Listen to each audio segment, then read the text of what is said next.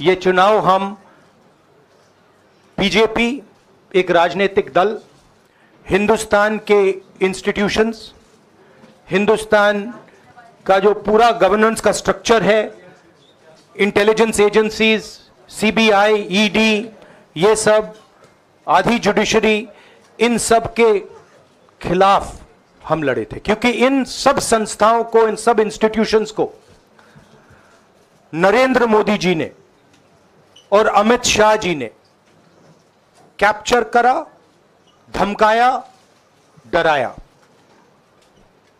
Press की तो मैं बात करता रहता हूँ। आपको मतलब काफ़ी बार कहा है कि आपका भी रोल रहना चाहिए और उस रोल को काफ़ी लोगों ने किया, काफ़ी लोगों ने खुल के किया, काफ़ी लोगों ने छुप के किया। और आपके इमोशंस कहाँ थे हमें मालूम है। लड़ाई संविधान को बचाने की थी कॉन्स्टिट्यूशन को बचाने की थी।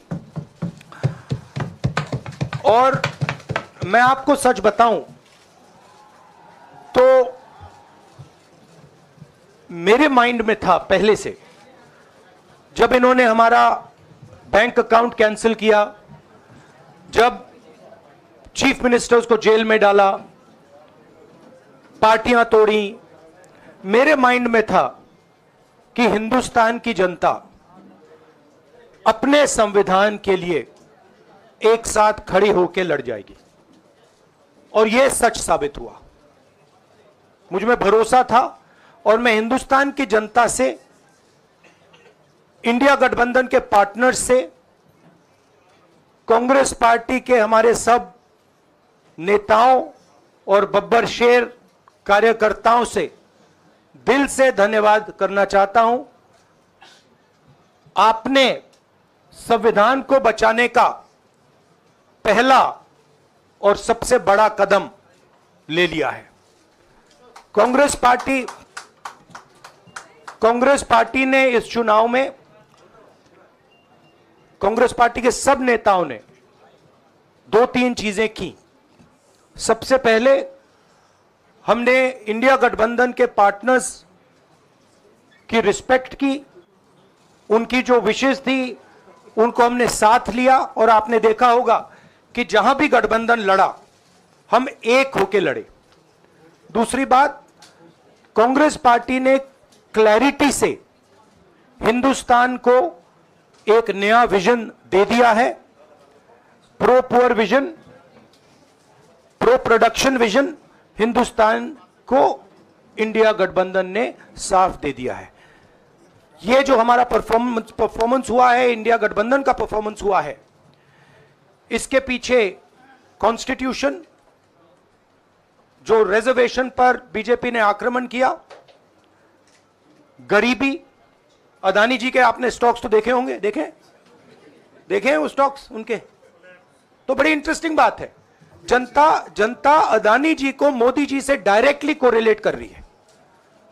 मोदी जी की हार होती है स्टॉक मार्केट कहता है, भैया मोदी जी गए तो अदानी जी गए। मतलब डायरेक्ट रिलेशनशिप है करप्शन की रिलेशनशिप है। और देश ने नरेंद्र मोदी जी को साफ़ कह दिया है कि हम आपको नहीं चाहते हैं।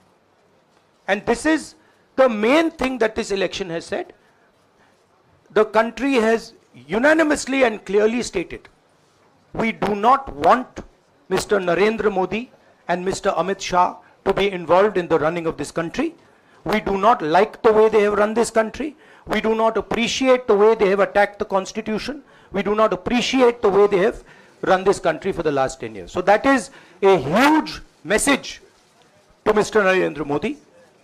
I'd like to thank everybody who has participated in this election. I am extremely proud of the people of India. I'm extremely proud of the people who have resisted this onslaught on the constitution. और अंत में मैं आपको कह दूँ कि इसको बचाने का काम हिंदुस्तान के सबसे गरीब लोगों ने किया है सबसे गरीब लोगों ने किया है मजदूरों ने किया है किसानों ने किया है दलितों ने किया है, आदिवासियों ने किया है, पिछड़ों ने किया है, इन लोगों ने इस कॉन्स्टिट्यूशन को बचाया है। इस कॉन्स्टिट्यूशन ये कॉन्स्टिट्यूशन देश की देश की आवाज़ है। बहुत सारे लोग ने इसको नहीं बचाया। चुप रह गए थे। मगर हिंदुस्तान के सबसे गरीब लोग, सबसे कमज़ोर लोग खड़े हो गए और उन्होंने इस कॉन्स्टिट्यूशन को बचाया। मैं उनका धन्यवाद करना चाहता हूँ, उनके, उनसे कहना चाहता हूँ कि कांग्रेस पार्टी आपके साथ खड़ी है। जो हमने आपको वायदे किए थे, हम वो वायदे आपके लिए पूरे करेंगे। जाति जनगणना, महालक्ष्मी, ये हमारे वायदे हैं। धन्यवाद। शुक्रिया राहुल जी।